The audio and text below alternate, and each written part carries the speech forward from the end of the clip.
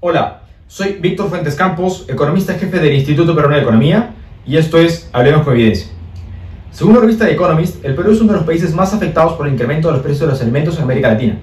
En esa línea, un informe del MIDIS indica que más de la mitad de la población en 17 de las 25 regiones del país viene enfrentando inseguridad alimentaria. Esta situación difícilmente se resolverá en corto plazo y requiere especial atención porque afectará principalmente a los más vulnerables. Según cálculos del IPE, casi la mitad de los productores agropecuarios en el Perú utilizan fertilizantes. Dependiendo del tipo del producto, los fertilizantes pueden explicar entre el 30% y 50% de la producción agrícola y entre el 10% y 30% de los costos de producción.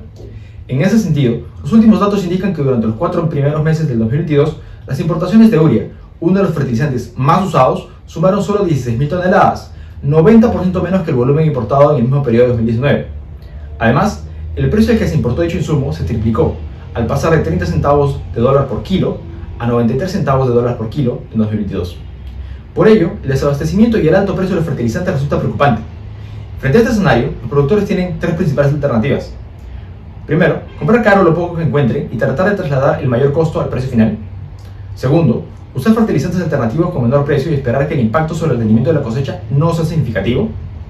Y tercero, producir menos o nada, lo cual también pondrá en riesgo la subsistencia de los agricultores. En cualquier caso, sin medidas adecuadas y oportunas, la próxima campaña agrícola, que inicia en agosto, se caracterizaría por una cosecha más pequeña y con mayores precios. Este fenómeno también repercutirá sobre otras industrias.